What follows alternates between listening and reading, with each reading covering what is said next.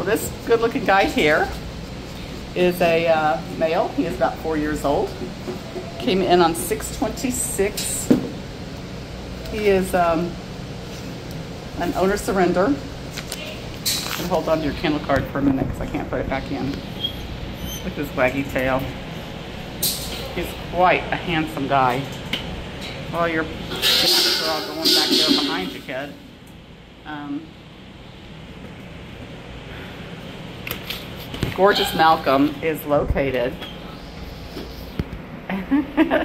Animal Care Services. There's more of them, sweetie pie. He is located at Animal Care Services in San Antonio, Texas. Hey, Bubs. Hi, handsome. Hi, handsome. Can you sit? No. Malcolm, come down and sit. Looks like he's got some skin irritation right there around his neck and shoulder area. What a cute guy.